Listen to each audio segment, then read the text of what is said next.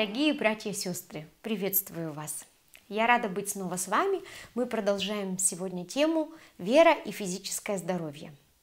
И сегодня поговорим о культуре тела и практических советах, как сделать жизнь тела здоровее и приятнее для нас. И а, если вы вместе со мной в прошлый раз изучали места Писания а, по посланиям апостола Павла, то, может быть, заметили какое-то противоречие в том, что с одной стороны он говорит, будьте свободны, не поддавайтесь на то, что кто-то говорит вам не вкушай, не трогай, что все можно, и с другой стороны сам же он говорит о том, что э, нам что-то нельзя, и где-то мы должны себя ограничивать. И вот как это понять? Э, если вы подумаете хорошо, то э, увидите, что противоречия в этом нет. И сам апостол Павел объясняет это в первом послании к Коринфянам 6 глава, 12 стих. «Все мне позволительно, но не все полезно. Все мне позволительно, но ничто не должно обладать мною». И прежде всего э, здесь говорится о вещах, которые вызывают в нас зависимость. А мы, люди, очень легко впадаем в зависимость, каждый из нас знает об этом. И даже когда речь идет о достаточно невинных вещах, таких как ну, Кока-Кола, фастфуд, кофе, который так многие любят, а, компьютерные игры, порнография – и а, все это очень легко берет как бы нас в плен. И я думаю, что с каждой зависимостью мы должны в своей жизни разбираться. То есть мы не должны мириться с ее присутствием в нашей жизни. Почему? Потому что Господь, Он купил нас дорогой ценой для себя. И об этом мы тоже говорили в прошлый раз. И ничему и никому мы не можем целиком принадлежать, кроме Него. И получается опять та же история, да, которая нас преследует с детских лет. И это нельзя, и то нельзя, и мы в каких-то сплошных ограничениях. Ну, вы знаете, нельзя, опять же, все отобрать у человека и а, ничего не дать взамен. Тогда он все равно найдет себе какие-то вредные занятия для своего развлечения. Нет, мы должны восполнить этот недостаток, мы должны заполнить эту пустоту. И что мы можем предложить э, в жизни нашего тела для э, замены вот вредным привычкам? Э, вот тут я хочу поговорить про культуру тела. И если посмотреть на нашу нацию, то мы обладаем культурой. У нас есть великие достижения в области литературы, музыки, да, науки. А, но культуры тела как таковой, я считаю, у нас нет. Здесь у нас есть определенный пробел. И когда я думаю о национальной культуре тела, я вспоминаю корейцев. А поскольку я видела это своими глазами, мы очень много лет ездили на христианские конференции в город Сеул, Южная Корея.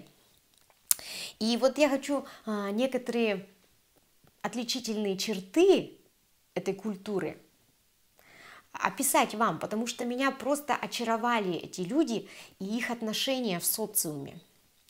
И вот первое, что нас очень сильно как-то вдохновило и э, очень понравилось в них, это их внимательность и отзывчивость к другим. Э, если, например, один раз мы с Виктором пошли в метро и там встали с таким видом непонимания, глядя в схему, мы не знали, куда идти. И тут же к нам подошли люди, а, которые просто э, без всяких просьб, они хотели нам помочь, не зная ни русского языка, ни английского, но э, они хотели помочь людям, которые находятся в затруднении, и как-то помогли нам знаками, мы сумели объясниться. А другой раз нам помогали звонить э, по телефонному автомату и даже предложили деньги, и это было удивительно, потому что в наших соотечественниках мы часто не замечаем да, такой отзывчивости. А вот как это относится к культуре тела, вы спросите, да? Ну вот если ты делаешь лучше другим, то в итоге ты делаешь лучше и себе. Например, такие вещи, как шум, да, а, вот в Сеул это огромный мегаполис, но там очень тихо, комфортно, а, и люди не кричат, лишний раз не используют какие-то громкие электроприборы, и от этого там очень приятно находиться. И, или, например, хамство, да, которого очень много на наших улицах, в нашем транспорте, или мусор, который люди бросают где ни попадя, или взаимопомощь. А, вот когда это все есть, да, когда э, есть так, такая забота о других, то наше самочувствие становится гораздо лучше. И вторая черта отличительная в корейской культуре – это физическая активность. И тут я хочу рассказать про, а, про один такой необычный опыт для нас. Мы жили в центре Сеула, и около нашего дома был большой парк. Наши собрания заканчивались довольно поздно, и мы после них шли гулять. И вот приходим мы в этот парк а, около 12 часов ночи. И видим такую фантастическую картину. Весь парк заполнен, просто битком забит людьми, которые занимаются спортом. Это просто ночью происходит. И кто-то идет э, спортивной ходьбой причем такая плотная толпа идет по стадиону этой ходьбой, кто-то занимается на тренажерах, кто-то играет в мяч, и кто-то ездит на велосипеде, и а, для нас это было очень необычно, да, у нас в 12 часов ночи люди предпочитают заниматься другими вещами. А, и в итоге вот корейцы сохраняют такую прекрасную физическую форму, когда мы собирались, э, когда мы забирались на очень высокую гору, на вершину со страховками. Кто, думаете, с нами забирался рядом? Это были старые корейские бабушки. То есть э, э, время у них появляется куда-то ездить только на пенсии. И вот к этому времени они умудряются сохранять прекрасную физическую форму. И, конечно же, немаловажным элементом является национальная корейская кухня, которая основана на натуральных продуктах.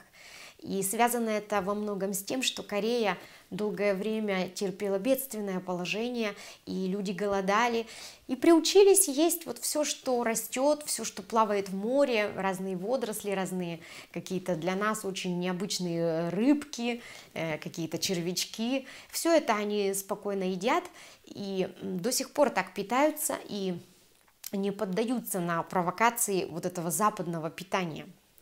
А, почти не используют сахар. Если, например, корейским детям после обеда предложить пирожное или конфеты, они не будут это есть, они не знают, что это такое. И они съедят лучше фрукты или какие-то рисовые, их особые десерты а, без сахара.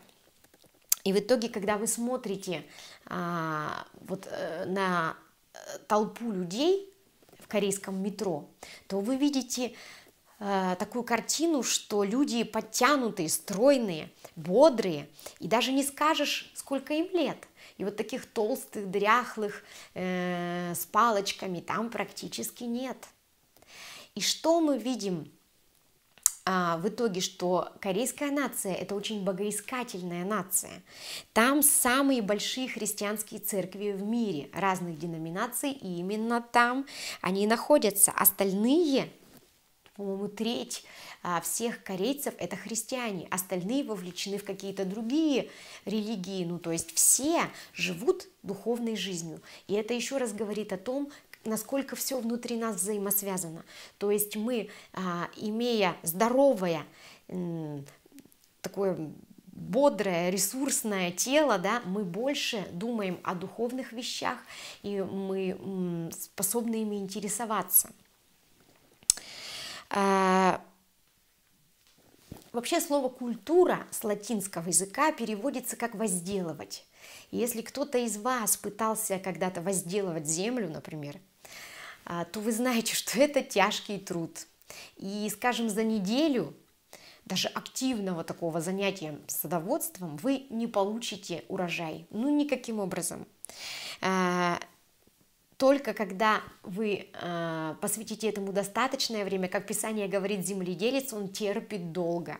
Когда вот он долго потерпел и потрудился много, он получил урожай, он получил плоды. Да?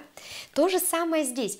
И это же относится и к интеллектуальной жизни. Если, например, вы месяц, всего лишь месяц своей жизни будете читать а, книги, а, до этого вы, предположим, не занимались этим, вы будете активно всем интересоваться, но вы все равно не станете за этот месяц начитанным, образованным таким а, человеком, а, с широким таким кругозором. Нет, этого не произойдет, это слишком мало времени. И точно так же, да, нельзя быстро овладеть культурой тела. То есть мы можем смотреть на какую-то а, на какие-то хорошие примеры и заниматься этим, заниматься тем, что мы а, будем ну, как-то вживаться в эту культуру тела. И любая культура – это система знаний, которые оттачивались веками. И э, к своему организму да, надо подходить а, грамотно и целостно. Он достоин этого чтобы мы заботились о нем и думали о том, как сделать ему лучше.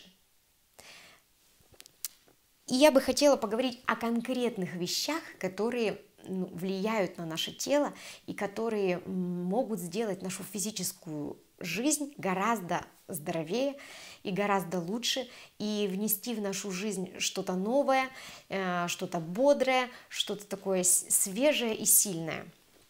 И первое, о чем я хочу поговорить, это движение. Э, вы помните, конечно, наши школьные уроки физкультуры. Не сказать, что у нас совсем нет культуры, да, физической. Она была когда-то в школе. И лозунг ее был, как вы помните, быстрее, выше и сильнее. И вот большинство людей, когда они выросли, они остаются на уровне вот этой школьной физкультуры. А, если их не вдохновляли эти уроки, скорее всего, то их не вдохновит и а, вообще физическое движение, физическая активность и во взрослой жизни, да. И есть какой-то, конечно, процент еще людей, которые занимаются профессионально спортом и танцами, их тоже не так много. А, и есть еще люди, которые э, любят качать мышцы, идут в, в тренажерные залы а, и занимаются просто как бы бодибилдингом, таким построением внешней красоты тела. А, и получается, что единственный язык, на котором мы можем обращаться к нашему телу, это напряжение. Вот мы напрягаем наши мускулы, мы их качаем, и они стают такие внешне рельефные и красивые. Я вам скажу, этот подход, он не совсем правильный, даже можно сказать, он неправильный, а, потому что все тут гораздо сложнее и тоньше. И вот правильный подход – это прежде чем начать качать крупную мускулатуру, нужно сделать две важные вещи перед этим. Это снять избыточное напряжение, то есть убрать зажимы, блоки, научиться расслабляться. С этим у нас в нашей национальной культуре а, большие проблемы. Мы очень много зажимаемся, мы очень много напрягаемся. Особенно вот мы, русские люди, которых как-то затюкали с детства. А, совершенно не умеем расслабляться. И в итоге вот эти зажимы напряжения, которые мы даже не осознаем, они просто а, сопровождают нас по жизни, мы их не видим, не осознаем, и они ведут к заболеванию в итоге и внутренних органов, и, и мозг потом начинает страдать. Вот таким образом мы а, не понимаем, какое великое счастье, великое благословение несет с собой умение расслабляться. Я советую вам этому поучиться, и вы почувствуете, как это прекрасно убирать из тела э, лишние напряжения. Тогда и психика сразу расслабляется, и мы часто переживаем, вот я лично переживаю в своих занятиях спортом, гимнастикой, я переживаю настоящее счастье, когда мне удается расслабиться. И второе, что нам нужно сделать, это выстроить баланс в своем теле. То есть у нас есть правая, левая сторона. Мы не должны заваливаться ни, ни вправо, ни влево, ни вперед, ни назад. И, ну, конечно, это требует тоже каких-то специальных знаний, как это сделать. Но все это возможно. Все это возможно найти и всем этим заниматься.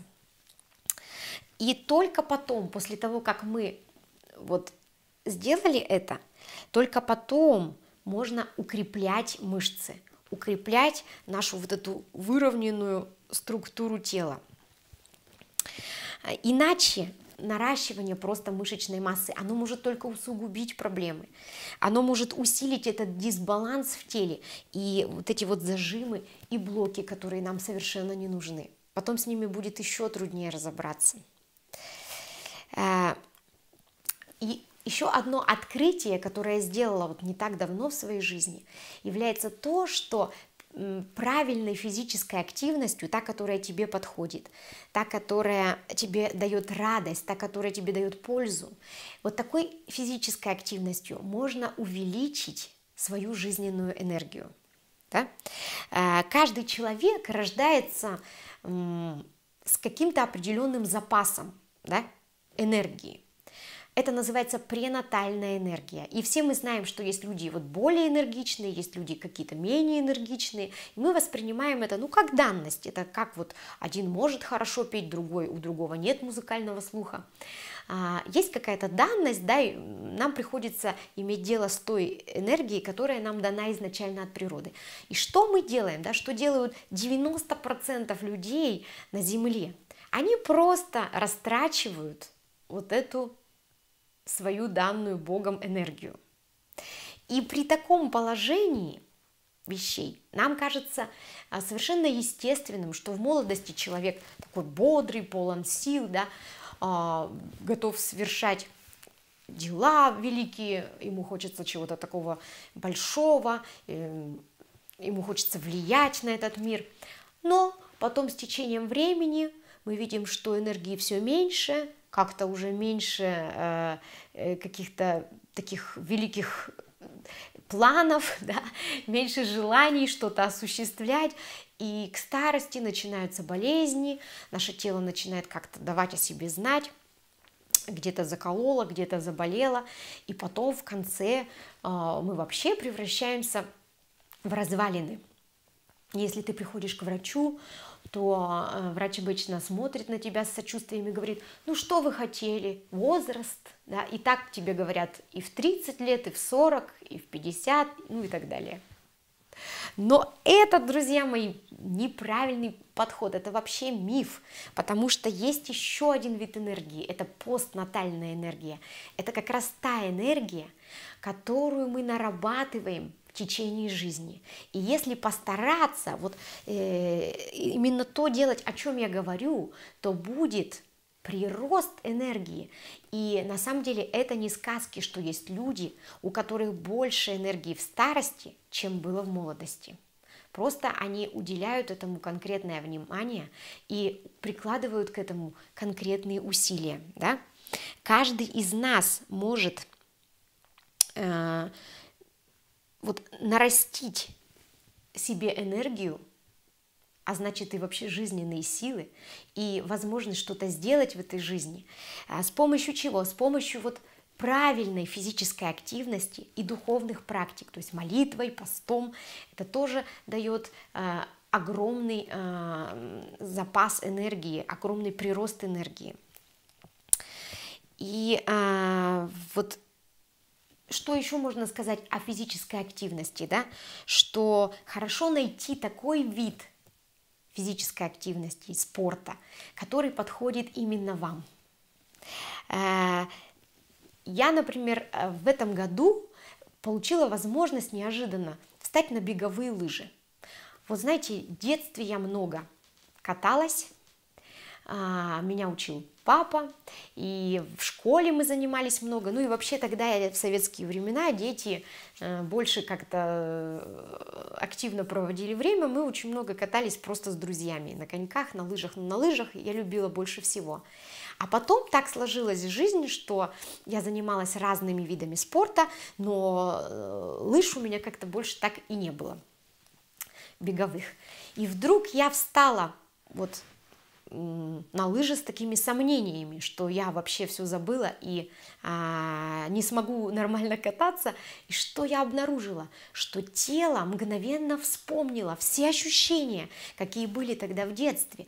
И стопа, она просто слилась вот с, с лыжей, и все мышцы в ноге, они вспомнили вот эти ощущения, это было просто удивительно. А, я была так восхищена своим телом, так благодарна ему. Вот подумайте, насколько оно умное, насколько оно вообще мудрое. А, наше тело, оно хранит где-то все воспоминания о том, что мы делали в течение жизни. Да, вдруг понадобится. А, и оно э, как-то вот работает на наши интересы. И когда вы когда вы э, доверяете своему телу, когда вы понимаете, что вообще тело умнее, да, чем мы думаем, когда вы э, ищете какие-то, комбинируете разные виды спорта, когда вы э, учитесь постоянно. Вот где мне учиться, да, ну, конечно, вас уже в спортшколу не возьмут, да, может быть, по возрасту, но у нас есть сейчас много возможностей учиться и онлайн, не выходя из дома, а, а, а, овладевать новыми навыками, вспоминать то, что мы делали в детстве. И то, что вам ближе всего, то, что вам полезнее всего, вам подскажет ваше собственное тело, поскольку нам нужно доверять его мудрости. Оно на самом деле имеет много мудрости, о которой мы часто даже не подозреваем. Но вот если взять тот случай, когда мы говорим, о, я слушаю мое тело, оно хочет гамбургеры и кока-колу, и, а, и оно хочет, оно очень любит сосиски, я очень люблю а, подзакусить колбаской вечером, да, и так далее. Вот, вот здесь в таких случаях нам не нужно слушать тело.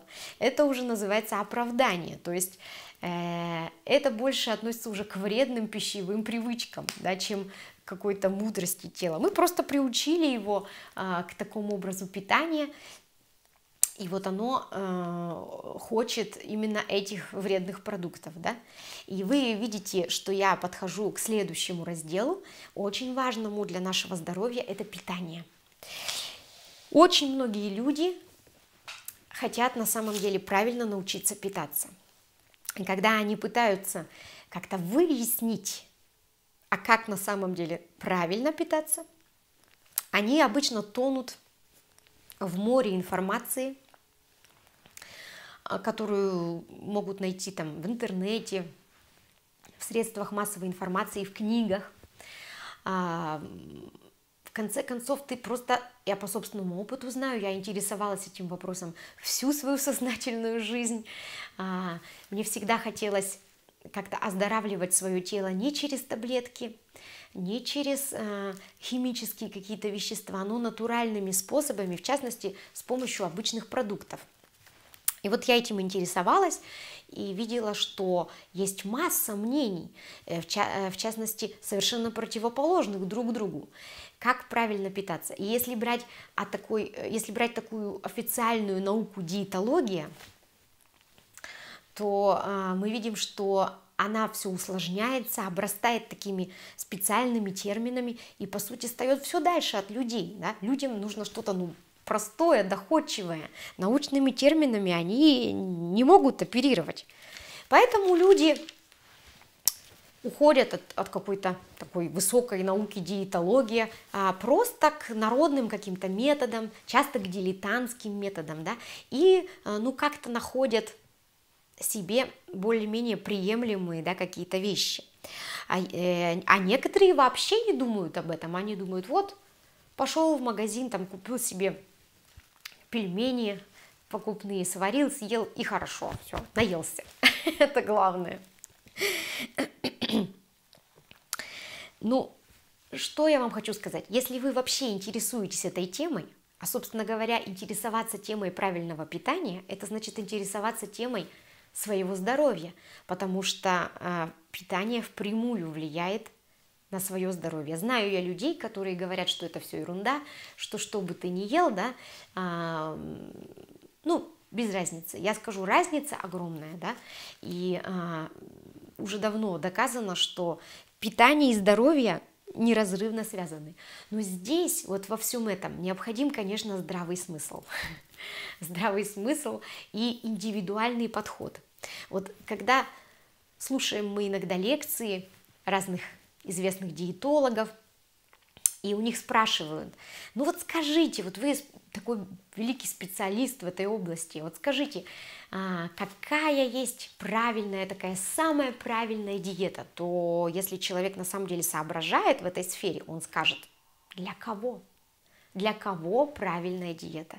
Даже один и тот же человек в разные периоды жизни нуждается в разных продуктах, нуждается в разном их сочетании – то как же мы можем тогда для всех абсолютно да, а, найти э, такую единственно правильную диету, единственно правильное питание? Мне вообще не очень нравится слово диета, потому что оно ассоциируется с чем-то негативным, с тем, что ты вот сидишь на диете, э, проливаешь горькие слезы, что тебе нельзя того нельзя другого. Мне больше нравится э, другое выражение, вот правильный подход к питанию. Да?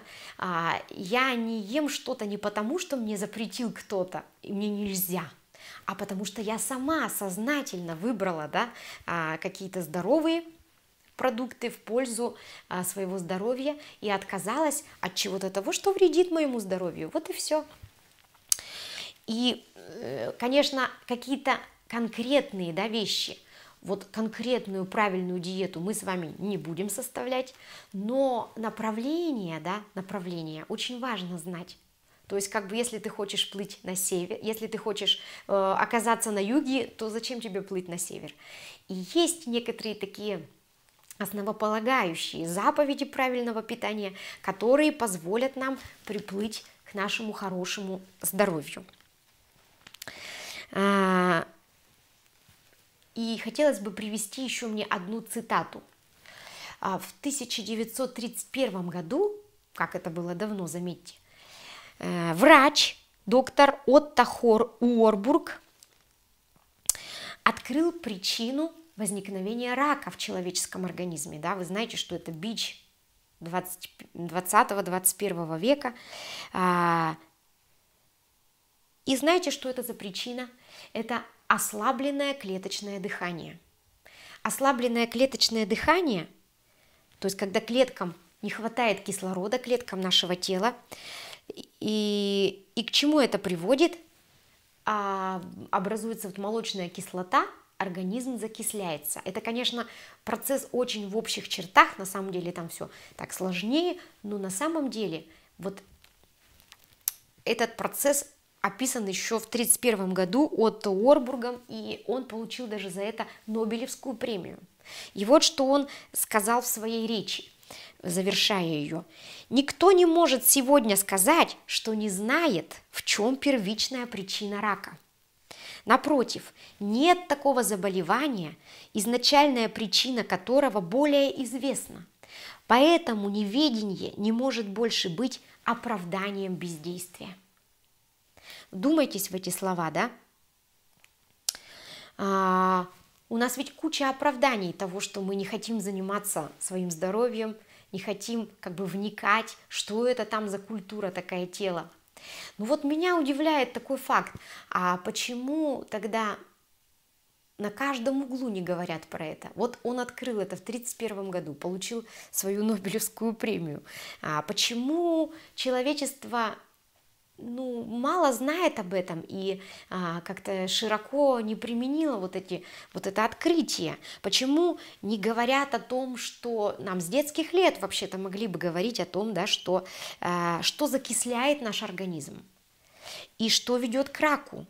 Почему нам не говорят и не пишут на продуктах, что есть продукты с очень высоким кислотным показателем, а также есть продукты с высоким щелочным показателем, да? Те, которые именно э, приносят пользу для нас. А, и мне кажется, что насчет продуктов питания существует некий заговор. на каждом углу мы видим э, вот эти кафе быстрого питания. Пожалуйста, заходи, там все так прекрасно, так уютно, и ты можешь там э, с комфортом поедать свои э, гамбургеры, пить коктейли, кока-колу. И также в магазине просто горой лежат продукты из белой рафинированной муки, из сахара, да, и колбасы, сосиски, алкоголь. Вот оно все, пожалуйста, доступно. Кстати, про сахар это тоже отдельная тема. А, все диетологи мира сходятся в том, что это один из самых вредных продуктов. Вот этот наш белый очищенный сахар, искусственный продукт, мертвый э, и вызывающий еще и зависимость. И вот э, диетологи говорят, никому, никогда, ни в каком состоянии, ни в каком возрасте не надо есть вот этот продукт, сахар. Но мы, тем не менее, спокойно кушаем его сами, с удовольствием и кормим их кормим им наших детей, да, и даже поощряем их за хорошее поведение именно чем конфетами и сладостями убежденные в том, что мы делаем им ну, добро, тем, что они радуются от этого, они получают удовольствие, на самом деле мы приносим им этим вред. И так как все вот это вокруг едят, все это продается, то кажется, что это нормально, да? Но кому это выгодно? А выгодно это только бизнесу, который э, продает в огромных количествах э, эти продукты и имеет огромные да, сверхприбыли. Что сказать? Несмотря на то, что э, это в обществе принято, несмотря на то, что как-то это в обществе одобряется, есть такие продукты, друзья мои, нельзя, если вы заботитесь о своем здоровье. И э, кроме питания есть еще вещи, которые закисляют конкретно наш организм. Кстати, о тех продуктах, о, об их кислотных индексах вы можете узнать а, очень просто. Есть э, даже специальные книги по этому вопросу, есть э, данные в интернете, есть таблицы, которые а, я изучала, м- которые очень легко найти в интернете. Это показатель pH да, вот в каждом продукте. То есть каждый продукт либо увеличивает кислотность нашего организма, э, либо другой продукт ощелачивает этот организм. И мы должны, конечно, делать упор на, на э, продукты, которые ощелачивают организм. В основном это растительная пища. Э, и вот о том, что еще закисляет наш организм, да, я хотела бы э, сказать, потому что это тоже относится к нашей культуре, к нашему образу жизни. Э, это, значит, окис... закисляет наш организм стресс, любой стресс, ругань, когда ты слышишь какие-то обидные слова, э, грубость, э, громкая музыка, шум, пробки на дороге. Это также ревность, жажда мести, то есть такие очень негативно заряженные чувства, да, очень такие эмоционально а, заряженные. Это перегруженность работой, особенно женщин. Особенно женщины э, очень сильно страдают от этого на физическом уровне. Это фильмы ужасов, это злоупотребление телевизором, это даже долгие разговоры по телефону, и те могут вызывать вот такие неправильные процессы в нашем организме. И что, э, наоборот, ощелачивает наш, э, наше тело и приносит нам массу э, пользы это когда мы э, улыбаемся, обнимаемся, смеемся, слушаем классическую или просто спокойную музыку, э, выслушиваем комплименты или получаем благословение, да, когда вот мы в церкви находимся, э, когда мы находимся в уютном помещении или на природе, э, когда мы гуляем, играем с детьми, работаем в саду, поем, дружески беседуем, и вот все вот в таком вот ключе, да. То есть надо стараться насыщать свою жизнь вот такими вот вещами. И согласитесь, что в этом нет ничего великого. Каждый из нас может сделать это. Если ваша жизнь похожа домашняя на театр военных действий, если у вас просто ад какой-то от шума, крика, ругани, ну постарайтесь как-то изменить свою жизнь. Постарайтесь прежде всего изменить себя. Ведь это же не что иное, как отсутствие культуры тела, отсутствие а, каких-то хороших привычек. А, и в итоге мы имеем вот такую отрицательную, какую-то некомфортную среду существования, и, конечно, о каком здоровье да, тут может идти речь? О здоровье эмоциональном и физическом. А, и вот про питание, да, говоря еще о питании, нет ничего все-таки лучше, чем личный опыт. И я хочу рассказать о нашем опыте, который мы приобрели лично, и он очень такой поучительный, я бы сказала. А, опять же, не все могут его как бы ну, перенять, да, потому что э, это на самом деле очень индивидуальная тема. Но какие-то вещи, да, а, вы можете что-то перенять и что-то э, применить для, в своей жизни. И в два с половиной года назад мы изменили свое питание. Достаточно резко это произошло. А, мы питались раньше как обычные люди, ели все подряд, э, даже так скажу, любили Макдональдсы, любили KFC а, и все прочие вот эти и же с ними. И а, приехав в один санаторий, мы а, столкнулись с тем, что нас просто погрузили вот в эту, в эту атмосферу правильного питания, научили нас готовить а, очень вкусно, правильные продукты, здоровые, полезные.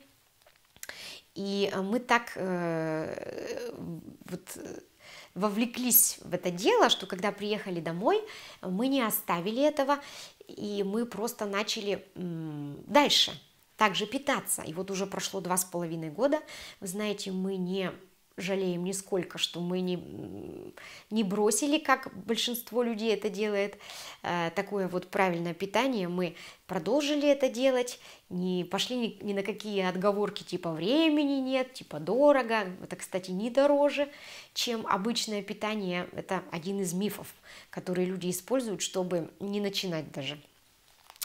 Это так все дорого, это так все хлопотно, ну я вам скажу, это того стоит. И когда ты уже входишь в колею, вот в эту, ты, э, для тебя это становится естественно, ты уже как бы делаешь все достаточно автоматически, и у тебя это приготовление той же здоровой пищи не занимает больше времени, чем обычное питание. И вот как, какие там такие основные, да, основное, что мы сделали, основные пункты, да, вот этого э, образа, что ли, питания. Э, во-первых, это, конечно, сокращение животных э, продуктов. То есть э, мы перестали полностью есть мясо, мы перестали есть рыбу и сократили до минимума молочные продукты, ну, яйца. Опять же, все это произошло не в, не в таком плане, что вот нам сказали, что нельзя, и мы теперь ну, не можем этого есть. Все это очень ненасильственно произошло, очень сознательно. Мы как бы осознанно отказались вот от этих вот продуктов, почитав разную информацию, сравнив разные данные, да, и научные данные, мы поняли, что на самом деле а, вот этот белок э, животный можно заменить Э, растительным белком. То есть это очень важно. Опять же, что-то отняв у своего организма, да, что-то дать взамен. Не менее полезное и не менее ценное. Иначе ваш организм будет просто недополучать питательных веществ, и вы в конце концов опять пойдете и наедитесь мясом. Но если вы грамотно подойдете к этому вопросу, как вот мы сделали, мы а, стали больше есть бобовых, мы стали есть орехи, полюбили соевые продукты, совершенно замечательные, и э, почувствовали, что так жить намного легче, э, мы себя хорошо чувствуем, очень работоспособно, и у нас э, ну, большинство времени хорошее настроение. Нет этой тяжести и нету разных других последствий. от, э, от переедания, например, когда ты просто объелся и вот тебе тяжело. И э, еще один важный момент да, этой такой нашей, нашей системы питания – это э, сокращение сахара. Есть, оказывается, вот я, например, сама очень большая сладкоежка. Я вообще не могла понять, ну как можно жить, не употребляя сахар. А, есть, э, оказывается, Господь позаботился о таких вот сладкоежках и создал много прекрасных, сладких, натуральных продуктов. Да? Это и мед, и финики, и разные фрукты, и сухофрукты, и а, также это а, разные растения, которые используются как подсластители, например, стевия, да, и ну, есть масса всего, есть э, сиропы, которые делают из фиников, из агавы, из топинамбура, и все это может прекрасно совершенно заменять сахар. То есть мы, если едим сахар, то просто по минимуму. Даже э, выпечку стараемся добавлять а, все такое, вот заменители сахара, натуральные. И вы знаете, вот э, сам процесс привыкания, вот на самом деле для меня лично было очень трудно привыкнуть к отсутствию сахара в диете. А, Наверное, даже я была каким-то сахарным наркоманом, вот не побоюсь этого слова. А, у меня была страшнейшая зависимость от сахара. И я помню, что мы несколько лет назад, если вы помните, всей церковью взяли пост а, перед Пасхой.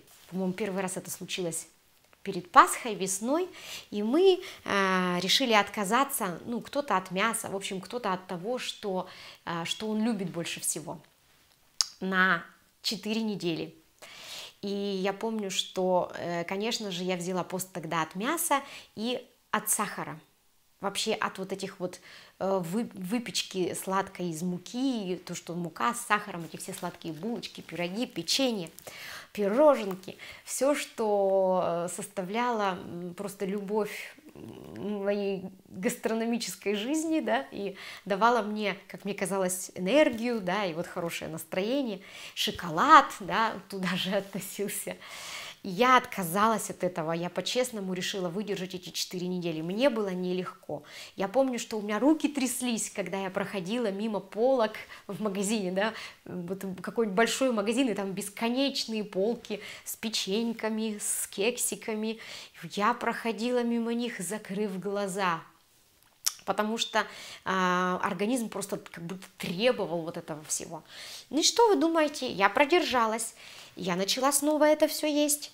На следующий пост, который был перед Рождеством, да, я снова отказалась от сахара и от всех этих э, вот э, продуктов, которые насыщены сахаром. На самом деле то, что продается в магазине, мало того, что там много всякой химии, они еще страшно сладкие. Вот сейчас, если мы что-то такое пробуем, нам кажется, это просто какое-то преступление добавлять э, в сладости, которые едят э, дети, которые едят ну, вообще все люди, столько сахара он не нужен там, это даже не вкусно, но наши рецепторы настолько привыкают да, к этому уровню сладости, так же как и соли, что они э, на меньшее не согласны, они на меньшее не реагируют. Так вот, второй пост я выдержала гораздо легче, да, и я поняла, что э, вот наше тело, оно поддается э, такому воспитанию, да, такому э, приучению, и рецепторы которые а, вот перевозбуждаются за счет слишком большого количества сахара в продуктах, слишком большого количества соли, добав... какого-то там а, добавок химических типа глютамата натрия. А, а, они перевозбуждаются от этого, и э, если перестать это есть, то рецепторы придут в такое состояние, когда им обычная, обычная натуральная пища будет казаться очень вкусной. Я очень вдохновилась тогда, а потом случился у нас вот эта перемена питания, и сейчас я посты вот эти держу перед каждым великим праздником, да, и перед Рождеством, и перед Пасхой, и даже когда не объявляется какой-то общий пост, я все равно беру а, на несколько недель свой личный пост, ну, как бы пост Даниила для меня, да, и даже отказываюсь в это время от своего любимого шоколада. И я вам скажу, сейчас я это а, прекрасно воспринимаю, потому что мы, когда кончается пост, оказывается, что ну, есть-то особо и нечего, потому что чего-то другого, чего ты до этого не ел, потому что у нас и так все питание вот такое вот очень здоровое и диетическое.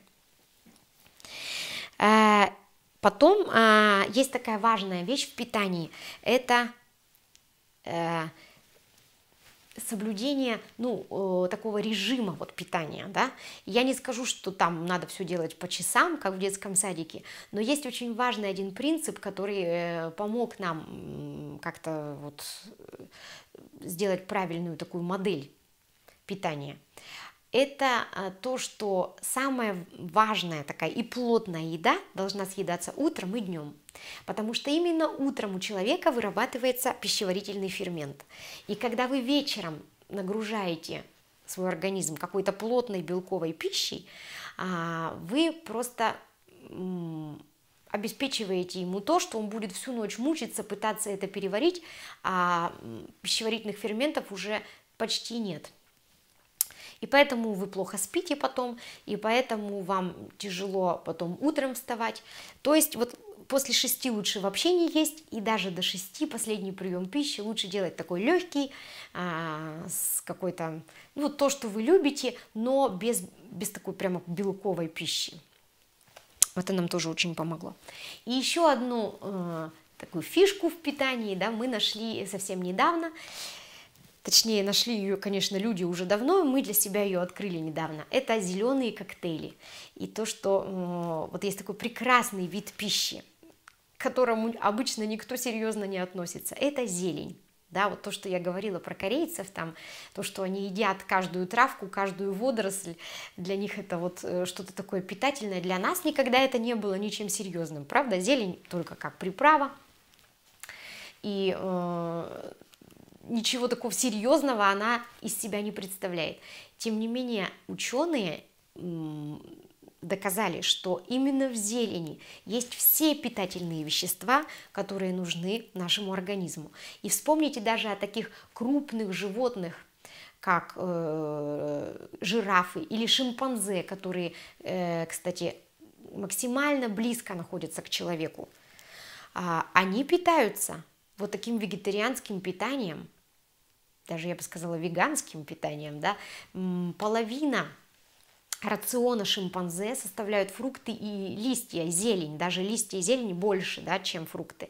И только половина это овощи, корнеплоды, это коренья, орехи, и иногда они едят чуть-чуть каких-то насекомых. Вот такая вот а, пища у шимпанзе. Интересно, да, что именно этих животных, шимпанзе, а, используют в медицинских опытах. То есть, когда нам нужно что-то вывести для людей, какую-то вакцину, как вот сейчас активно ищут, да, вакцину против коронавируса, или любую какую-то другую вакцину, или а, испытать какое-то лекарство, их э, испытывают на вот этих несчастных шимпанзе, да, заражая их этими болезнями, потом прививая это все им. То есть мы делаем больными наших братьев меньших шимпанзе вместо того, чтобы поучиться у них здоровью, да, а как они такие здоровые, почему они не болеют таким количеством э, болезней, каким болеют люди. Вот э, в частности изучить их диету. Вот когда люди изучили диету, да, эту, они увидели, что это Диета, состоящая в основном из, из растительной пищи, и очень большое количество а, они съедают этой зелени. Но все равно вот эти исследования не попадают в, в какую-то широкую, широкую э, известность, потому что, а, потому что это невыгодно да, тем, кто зарабатывает на продуктах питания. А, и э, таким образом вот э, мы делаем коктейли из смеси фруктов и а, зелени, то есть листья салата, петрушка, сельдерей, о, все это прекрасно сочетается, все это имеет очень хороший вкус, и все это вы можете на самом деле найти, как это все делается. И э, я читала такие исследования, что даже если такие коктейли каждый день которые люди пьют, прибавить вот к обычному рациону с мясом, там, с, с какими-то другими там не очень полезными продуктами, то все равно это и, и имеет очень большой оздоравливающий эффект. То есть те, кто пьют э, зеленые коктейли, чувствуют себя намного лучше.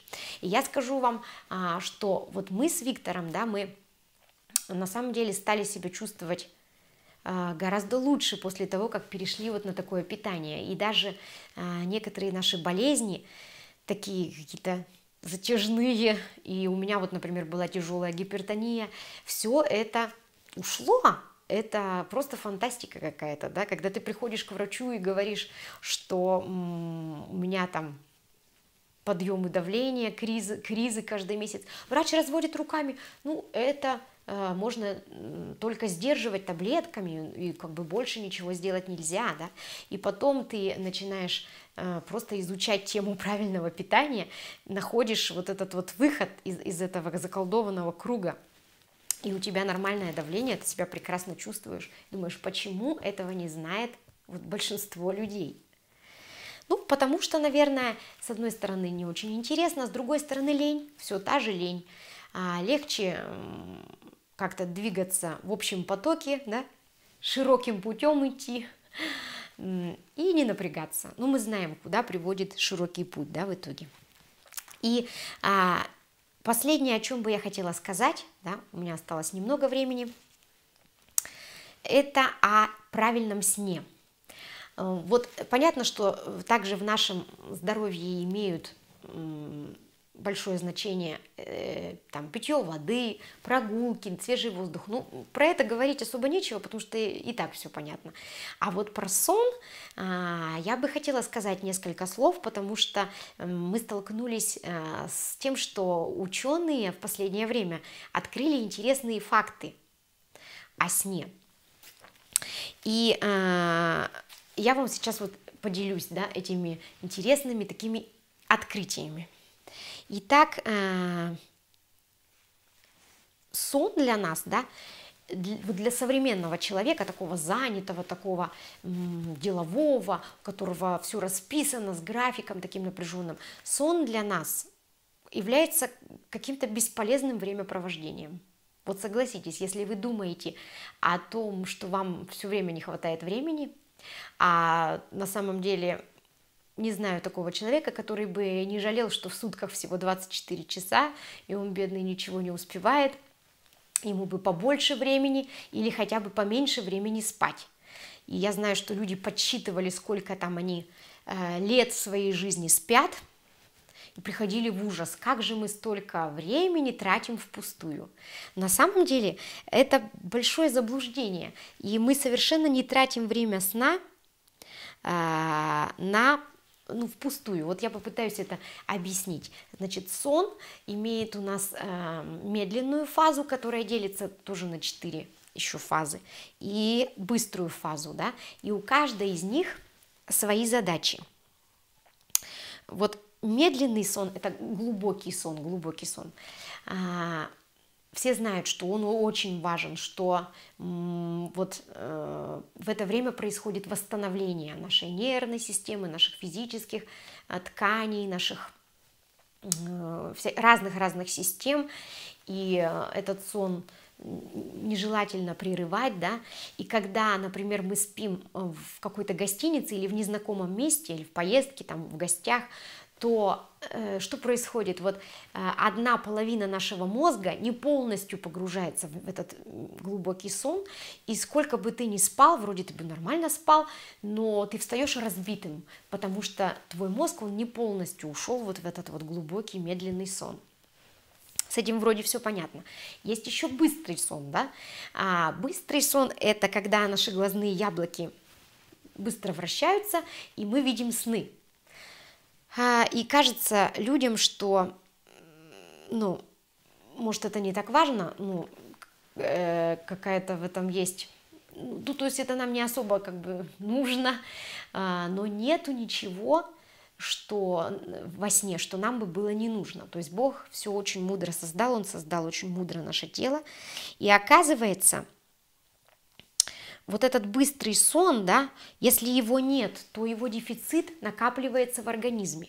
И если, например, люди пьют алкоголь часто, алкоголь, он блокирует вот эту быструю фазу сна, человек сразу, как бы перепрыгивая ее, погружается в медленный сон. И он не видит вот этих снов, а, и он может это делать долгое время, да, потому что он, например, пьет, и он а, долгое время не видит снов. И представьте, они накапливаются, они накапливаются, и они начинают разрывать его мозг, и э, просто организм, ну, начинает переполняться с нами, и в конце концов эти а, сны выходят в, в, в его бодрствование. И он начинает видеть как бы две реальности. Одна настоящая, а вторая реальность его снов, которые он видит наяву. И это состояние называется белая горячка.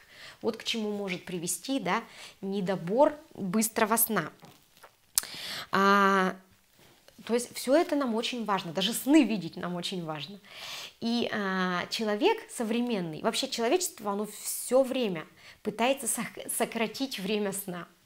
И вы знаете, что тут нет ничего нового, что человеку нужно э, э, где-то в среднем 7-9 часов для сна. Но последнее время люди спят все меньше, и в среднем мы уже сократили свой сон на 20%, ну потому что нам все время некогда, да, нам не хочется э, тратить вот, вот это вот время, и вот, э, конечно, это трагическая ошибка, потому что мы лишаем себя неж... некоторых важных вещей, да, э, то, что происходит во сне. Еще то, что происходит в быстрой фазе сна. А, в быстрой фазе сна наш мозг проигрывает и повторяет те действия, которые мы делали днем.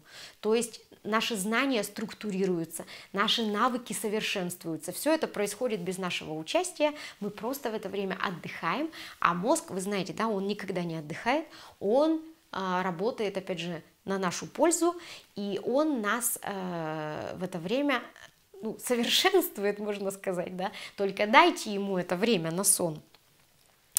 Э, если мы э, если мы нормально спим, да, если мы спим свои часы положенные, регулярно спим, да, то повышается физическая выносливость и э, меньше производится вот этой молочной кислоты, которая в конце концов закисляет организм, да, и вызывает рак, да, то, что мы говорили э, раньше. Э, поэтому сон, он вот прямо связан напрямую с некоторыми болезнями, в частности с раком. И люди, которые работают по ночам, это настолько антифизиологичная работа, у них нарушается вот этот ритм сна, они находятся в группе риска по приобретению рака. Также сон отсутствие сна, его нехватка может э, влиять на возникновение болезни Альцгеймера. И вообще э, недосып приводит к ранней смертности, вот даже до, до такого а, до такой степени. То есть есть такая поговорка «А на том свете отоспимся». Так вот, ты окажешься на том свете гораздо раньше, если ты не будешь здесь нормально спать. И, э, значит, важна не только продолжительность сна, но и его качество. И что мы можем сказать про то, как да, нам э, на самом деле хорошо и правильно спать, это, во-первых, ну, стараться ложиться в одно и то же время, это э, меньше света допускать, да, еще до, за, за час до сна нужно постараться выключить все экраны, все там а, источники света, погасить в квартире света хотя бы половину, и вы увидите, насколько легче вам будет засыпать, насколько спокойнее будет ваш сон. И третье – прохлада. То есть мозгу требуется скинуть температуру, чтобы заснуть. Прохлада на него хорошо влияет. Так что э, не пренебрегайте сном. Люди это единственный биологический вид, который э, добровольно лишает себя сна. И э, сон – это невосполнимый ресурс. Вы не можете, вот пищу вы можете восполнить, а сон не можете. Поэтому относитесь к этому ну, серьезно и знайте, что это влияет очень сильно на ваше здоровье. И последнее, что я вам хочу сказать, да, что наше служение Богу, наша помощь людям, наша забота о своем собственном здоровье, это не просто вклад в себя, это вклад в нашу семью и даже весь наш род. Потому что дети, которые живут рядом с нами, они смотрят на нас. Вот дети, они даже иногда и спортом не будут заниматься, если видят, что мама и папа ничего не делают. Они будут сознательно и бессознательно повторять ваше поведение. Поэтому то, что вы делаете да, для, для себя, вы делаете и для них также. Хотите, чтобы у них были хорошие привычки, привить им да, какие-то навыки а, полезные, привейте их сначала самим себе.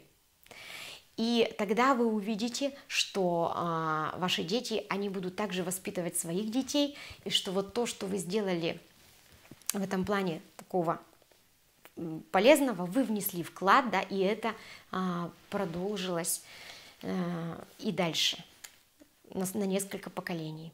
И я желаю вам, чтобы вы были здоровы, и чтобы Господь благословлял ваше тело, душу и дух.